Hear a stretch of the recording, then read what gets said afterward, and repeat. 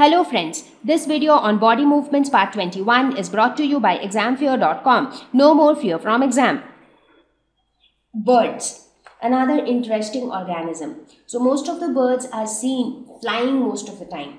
However, uh, it is not necessary that all birds fly. There are a lot of birds like ducks and swan which swim in water. So uh, in general we can say that birds can walk birds can fly birds can also swim. So that means there must be uh, something with inside the body of the birds which help them to do all these activities.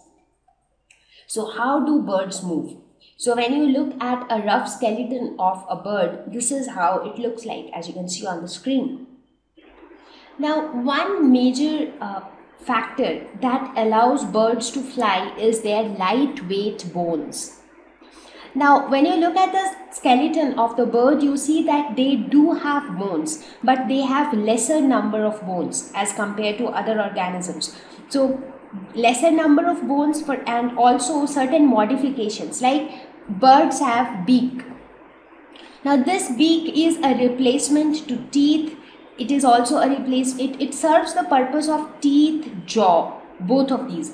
So when they do not have teeth they do not do not have jaw the number of bones have reduced right? So there is just one beak which can serve the purpose of all but at the same time the beak is a lightweight structure.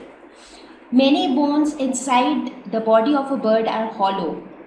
So less number of bones that is one factor secondly hollow bones now when the bones are hollow they are light in weight so as a result of this lightweight bones, birds can very easily fly because when their weight is light, they can easily move upward.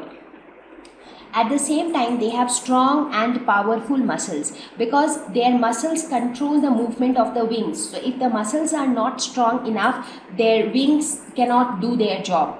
So, they their breast muscles are the largest muscles because the breast muscles they actually control the wings. Now not only breast muscles when it comes to muscles their breast muscles which are the strongest muscles and they control the wings their skin muscles control the feathers because the feathers of the bird can also move. So the feathers adjust during flight and that is controlled by the skin muscles.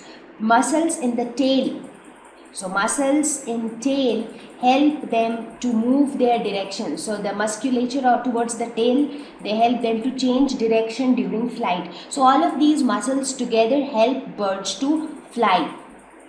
So muscles control the wings as well as the legs. So the leg muscles for those birds which can walk, their leg muscles control the movement of the legs. Thank you. Please visit www.examfear.com to watch more educational videos with a better experience. Please do not forget to like and subscribe to our YouTube channel for latest updates. Thank you once again.